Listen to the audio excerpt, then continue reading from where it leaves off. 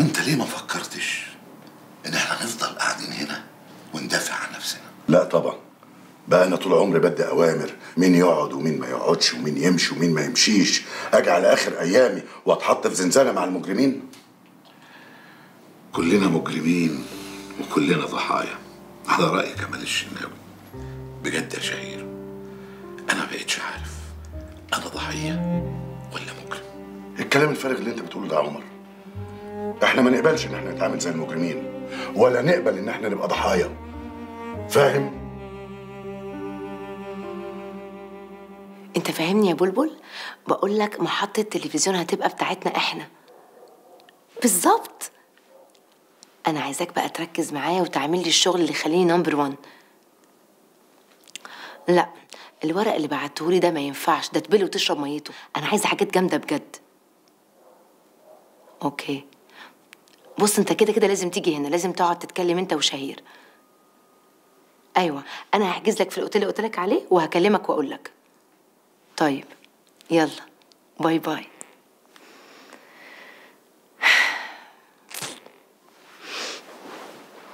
وقرر المباحث نفسه في دور تاني. ده مالناش دعوة.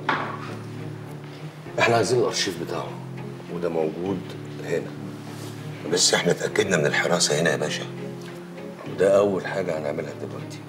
دلوقتي أنتوا هتروحوا تغيروا تلبسوا لبس الصناد بتاعكم وتخشوا تشوفوا الوضع عامل إزاي. هنخلي بالنا إن الحتة اللي إحنا عايزين نخشها اللي فيها الحاجة بتاعتنا موجودة هنا أهو. إيه ده؟ جوه المكان ده. يعني إحنا لما نروح نعاين دلوقتي هنبقى بندور على إيه؟ الحراسة. عددها قد إيه؟ متوزعة إزاي؟ المكان اللي إحنا عايزين نخشه جوه ده مقفول بإيه؟ غالبا باب حديد. ودي مش مشكلة لأن معانا العده بس برضه عايزين نشوف يكون في مشاكل تانية. تمام؟ هتتوكلوا دلوقتي على الله. هتغيروا هدومكم في دورة المية اللي اتفقنا عليها. تخشوا. تنجزوا المهمة الأولانية بتاعت المعاينة دي وترجعوا تغيروا تاني وتقولي هنا. مش هتقولي بالميري. تمام؟ هتخشوا المجمع وتخرجوا منه. من الباب اللي ورا القصر العيني مش هتخشوا من التحرير ليه يا باشا؟ ليه؟ إيه؟ ليه هندخل القصر العيني ما ندخلش من التحرير؟ رد انت يا راجل. عشان الشباب اللي في التحرير لو شافونا بالميري هيزعلونا.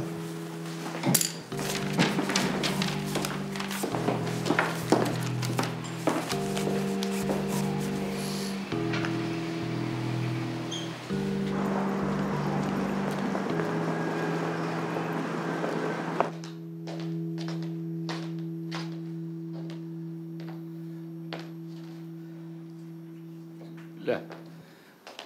استغفر الله العظيم رب. أنا مش فاهم. الناس بقت مليانة جلياطة. يا علي ما تهدى كده وتمسك نفسك شوية. انت شايفة يا حاج عمايله؟ من ساعة ما خد مني الورقتين وهو لا حس ولا خبر. قابلته في الحفلة قال لي هكلمك بكرة. أهو ما كلمنيش. التليفونات حتى ما بيردش عليها. كأني كل اللي كان همه إن ياخد مني الورقتين وبس. كل ده مش مهم المهم إنك تهدى علشان تشوف هتعمل إيه. اعمل إيه لا حول ولا قوة إلا بالله؟ وعلى كل جايين هنا ليه يا حاجة مش كل جايين علشان نقبض على بسلامته ده قتال القتلة اللي خرج من السجن وهرب وحاططنا في دماغه؟ يعني نستنى يا حاج لحد ما القضاء ينزل علينا ويجي يخلص. يا حاجة ده إحنا قاعدين بقالنا أسبوع أسبوع بحاله ما عملناش أي حاجة. هو مش قالك إنه بيتقص عنه عشان يعرف هو مستخبي فين؟ يا ستي ما قلناش لا. بس يشركني معاه؟ ما يخلينيش كده قاعد راس كرومبا. ولا كنت إيه؟ ده أنا كنت مدير امن أنا خرجت من الوزارة وأنا مساعد وزير الداخلية. الله باب ذمتك أنت. وحياة الحجة اللي أنت حكيتيها دي. في حد في الدنيا يتحرى أحسن مني؟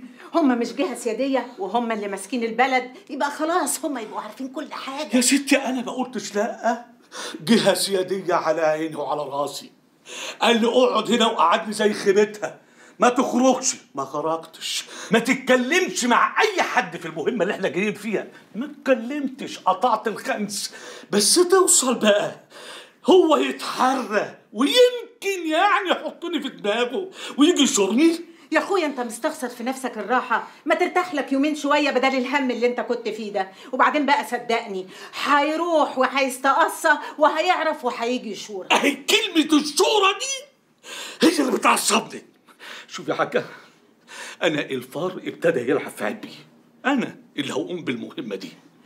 أنا اللي هتحرى بنفسي أنا, أنا تخصص تخصص يا حاجة تخصص مباحث. يا أخويا ما تهدى بقى. ده أنت مركب دعامتين تردوا هتقول لي دعمتين كل ما اتكلم معاك تقول لي راجل دعمتين دعمتين دعمتين خلاص. أنا كده مش هلحق أركب التالتة. كده إحنا عرفنا هنلهي العساكر إزاي.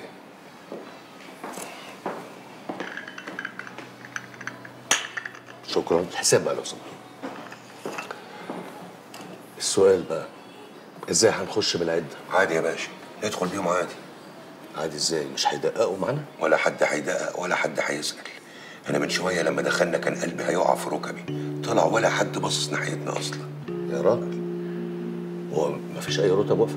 لا واقفة ولا قاعدة. كلهم عساكر. كلهم عساكر. ده كلام جميل. طيب بصوا بقى. أنا هتحرك دلوقتي وهستناكم عند المدخل بتاع القصر العيني. هتخشوا على دورة المية تغيروا وتقولي بالميري. أول ما هشوفكم هخش أنا. هستناكم تخشوا ورايا بالعدة دخلتم كان بها حد عكسكم هتصرف تمام؟ يلا. حاسب أنت بقى يا أبو راجع واجب عليك برضه. كله من خيرك يا باشا.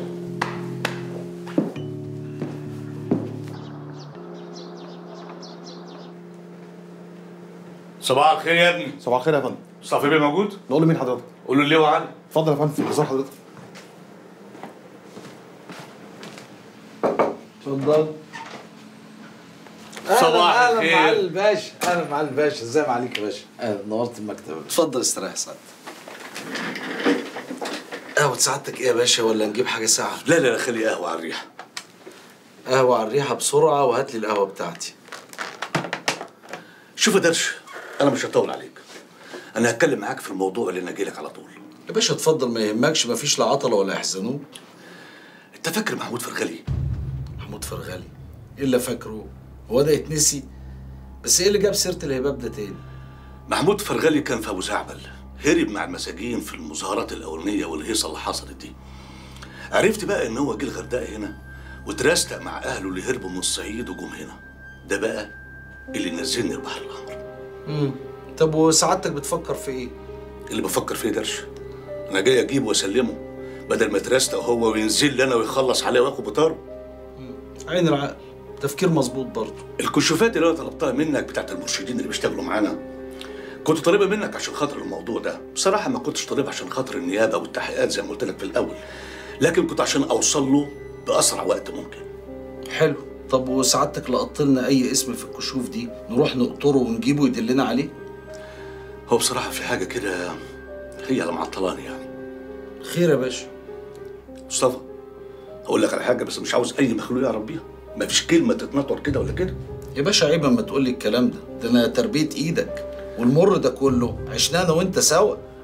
أنت فاكر فاضل بيه اللي أنا عرفتك بيه في حفلة المرسي امم فاكره. فاضل بيه بقى؟ بيشتغل في جهة سيادية عليا. تعرف طبعا هم الماسكين البلد الأيام دي. أيوه ده صحيح. فاضل بيه هو اللي جاب لي خبر هروب فرغلي وجاب لي الناس